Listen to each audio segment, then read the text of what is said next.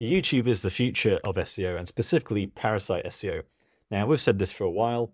Even Ricky Kesler at Income School at a conference I went to a couple of years ago, he was talking about the future is video because it's more difficult to fake. Now, I've been very aware of the fact that with monitoring uh, parasite SEO in particular, when you're looking at these high ticket products like supplements, gold IRAs, gambling sites, traditionally we've had a lot of news sites at the top from parasite SEO, whether that's Outlook India, Deccan Herald, all of those. But for a long time, we've also had YouTube videos ranking. Now, with the latest Google update, we're rapidly coming up to the 5th of May uh, deadline, supposedly, where Google has said it is fixing parasite SEO, sites that are ranking pages from third parties purely through the sheer strength of their domain power to promote affiliate products are going to be penalized. And in my previous video, I explored how basically a lot of it's already gone through. Most of the major parasites have dropped a lot, now, I don't think Parasite is going to end by any means. It simply makes sense. Google themselves have said that hosting third party content on a news site, that's how media sites make money. Traditional advertorials have been around for ages. So that's not really going to change. But what we have noticed is a distinct loss of power. It used to be, certainly in the last few months so, even LinkedIn, you could publish a LinkedIn post and within hours it would be in the top three of Google. And it didn't matter what the niche was. So that idea of topical relevance, topical authority, seems to have gone out the window. But slowly, it seems like Google is slowly filtering out a lot of the parasite stuff. Uh, still seeing a lot of these Microsoft CRM portals coming through as the the latest trick. But even a year ago, I was seeing these YouTube channels ranking really well. I'm basically trying to work out how they did it because what they're doing is not trying to organically rank on YouTube and get that virality aspect. What they're doing is they're sticking a video really high up on the Google result. So let me just explain to you some of my methodology here. I always like to look at ClickBank. So ClickBank is an affiliate marketplace where basically product owners, normally supplements, can list their products and any affiliate can sign up and start promoting those products. And some of them pay really well. So for that reason, some of the top affiliates, if you really want to know what's really going on in SEO, then you want to go through some of these brands and work out what their affiliates have been doing. So Java, perfect example, that's a supplement for coffee.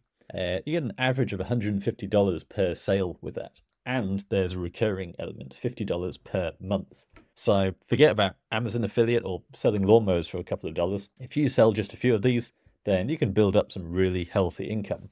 But of course, it's really competitive. So for the last six months or so, we've had loads of parasites competing with these products. With a lot of these parasite sites, Google seems to reward the most recent result. So you could pay your 500 to $1,000 to publish a Parasite article, and then a week later it gets knocked off by someone doing the exact same thing.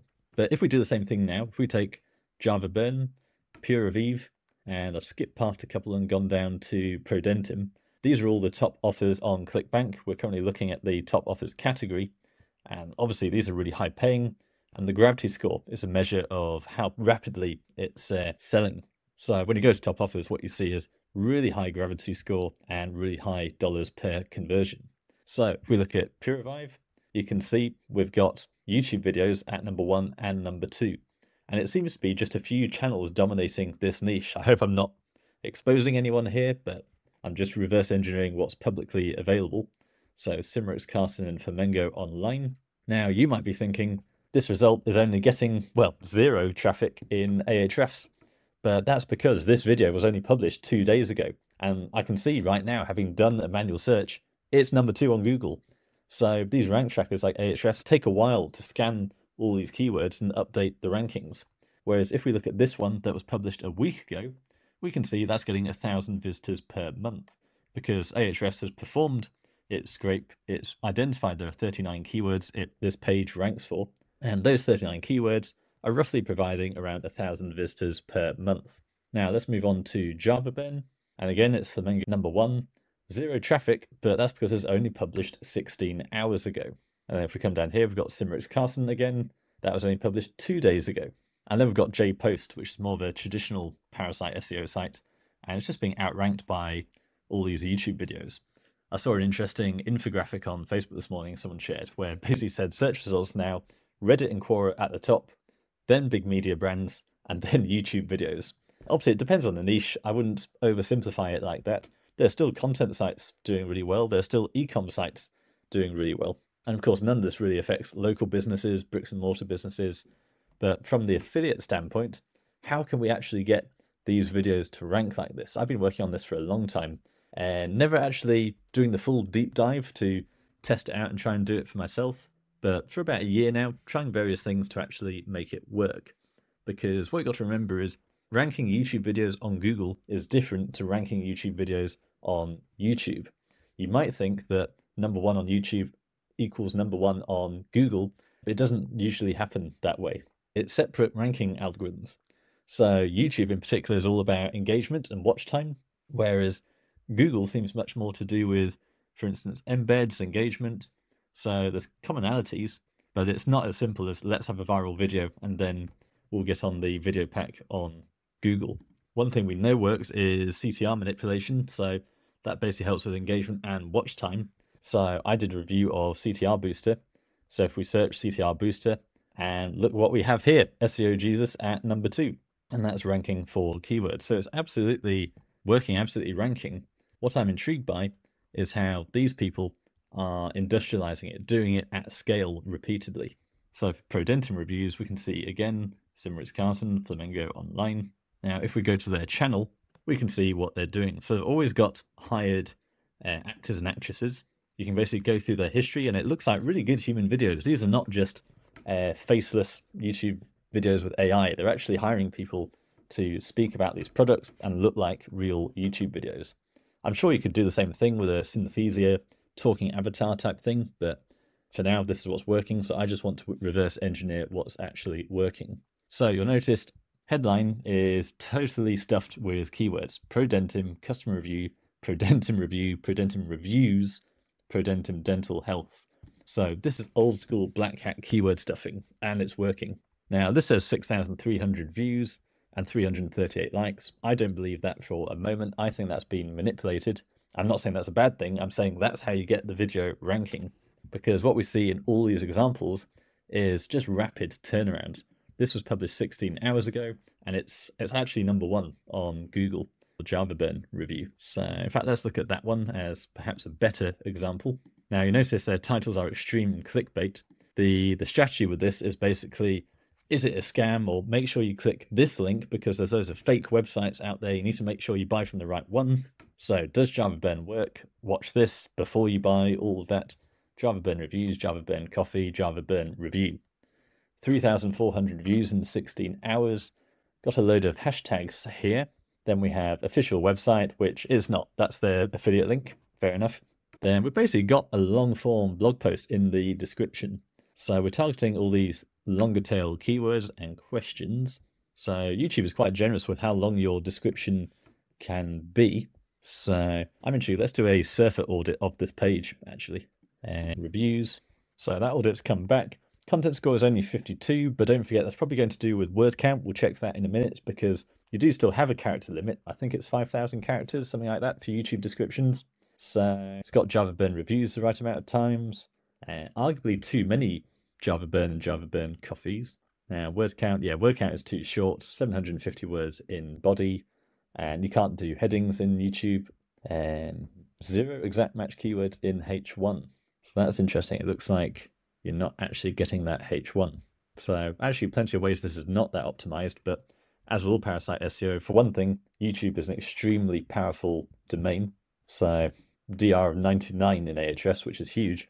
Also, it's a Google owned property. So it's always going to have an unfair advantage there. I think generally videos, remember, you do watch them. So therefore your dwell time on the page is going to be quite long. So there's plenty of reasons videos do rank well, just as a page on the internet, as a page on Google. So I get the impression they've sculpted this description quite well. Chapters help a lot. Now notice the chapters are all heavily keyword stuffed as well. So constantly repeating Java burn. Uh, and then they stuff a load of keywords at the bottom. So Java burn, Java burn reviews, just goes on and on. Um, in the tra transcript, we can probably see how many times they use Java burn as well. There are some reports that YouTube and Google does actually look at the transcript for relevance and ranking, but I don't think anyone has actually proven that. And then they're using manipulated comments uh, using the keyword repeatedly. So we've got more of the keyword repeated across the page. Plus, from YouTube standpoint, comments are really good engagement signals.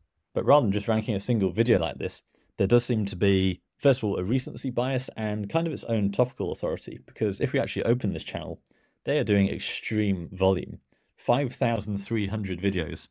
And if we go through here, we can see one minute ago, 12 minutes ago, two minutes ago, and that's a new Java Burn review. So it looks like whatever keyword they're targeting, they have to do it pretty much daily. And I wouldn't be surprised if they just hire an actress. These videos are not long, they're only about three minutes long each. So you just need a couple of actresses to read a script, maybe do five to 10 recordings of a very similarly worded script, but still unique content. And then you can just mix them up. And they're targeting other languages as well, which is really interesting. I've seen people trying to rank videos like this in Spanish, as an example, obviously one of the world's biggest languages. So probably a lot less competition, but still very high volume. Now, even now, as I'm scrolling through, we're still only up to five hours ago. So all these supplement reviews going out all the time. Nine hours ago, if we just keep scrolling, we've got 19 hours, 19 hours. So you can. This is not a small operation. I wouldn't take the assumption that you could just publish one video, follow all the steps, match them exactly, and yet still manage to snipe that number one position. And frankly, I think this is much more a case about the the operation side, the SOP. So how you hire your actresses, how you actually script it, how you edit it, and basically have someone on the go all the time, publishing this content round the clock, and then performing all the off page to actually get that going.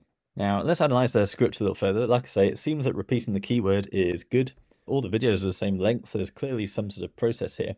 So I'm actually going to use a process similar to how I do my videos, my descriptions, and so on, where we actually paste in the transcript into ChatGPT.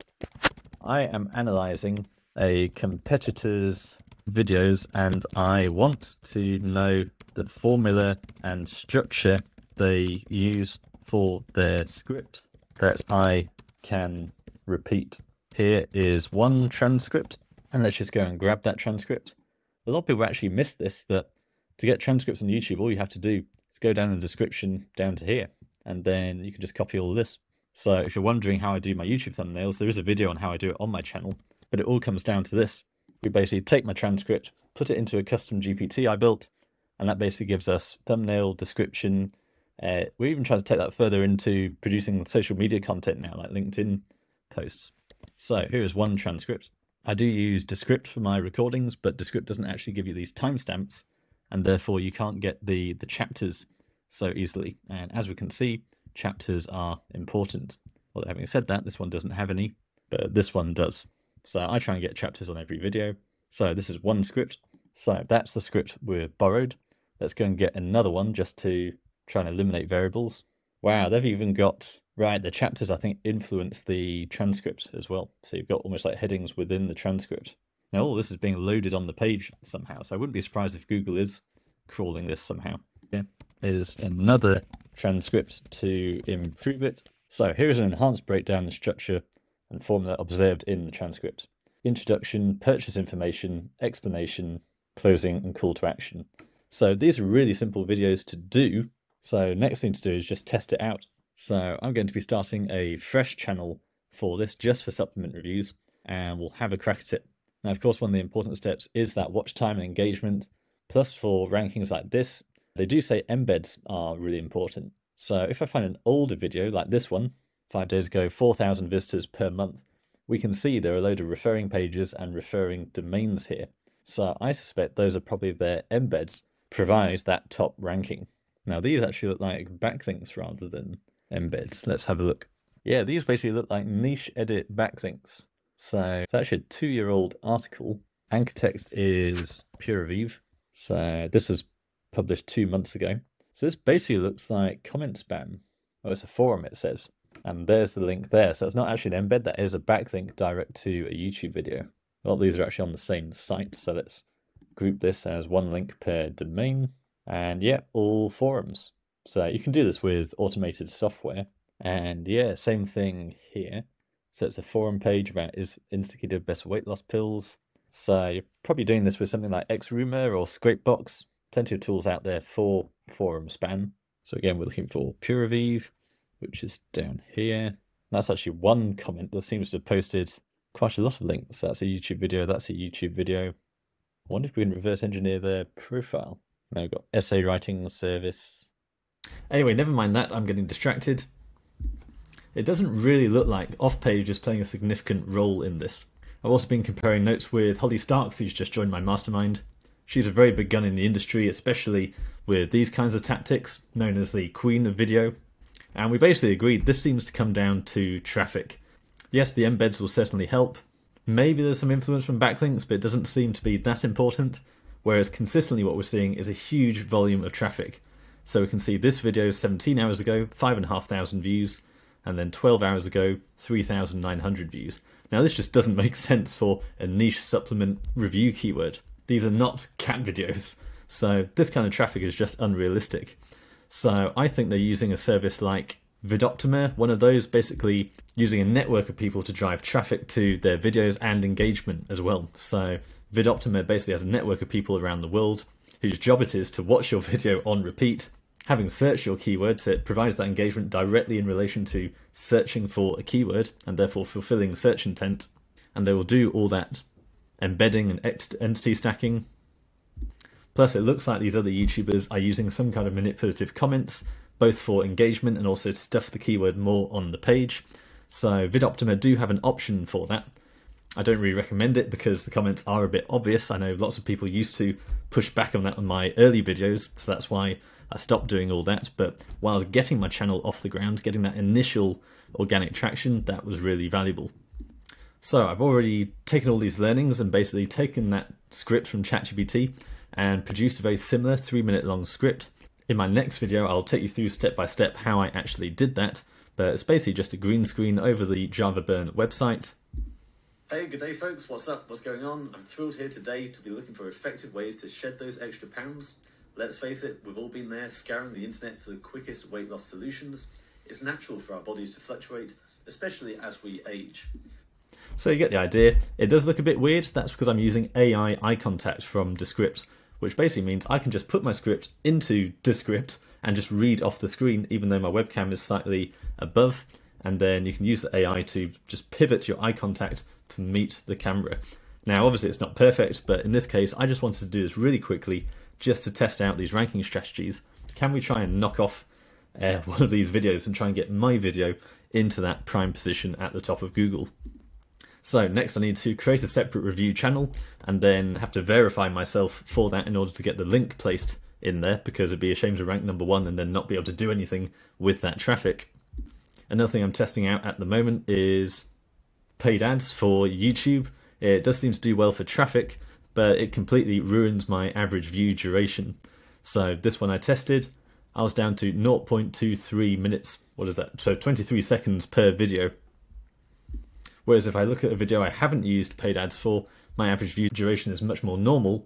It's around six minutes. So most of my videos get around five to seven minutes view time. And like I say, that's really key for organic reach. That's why I recommend Vidoptima because they really focus on that watch time. Getting that watch time up is much more qualitative metric of views rather than a purely quantitative sheer volume of views. So I'll be testing both side by side, but that's basically the tactic. Short, three to five minute review video, basically make sure the whole video is about call to action, and then just blasting it with disengagement, embeds, everything, all this power that these competitors seem to be doing.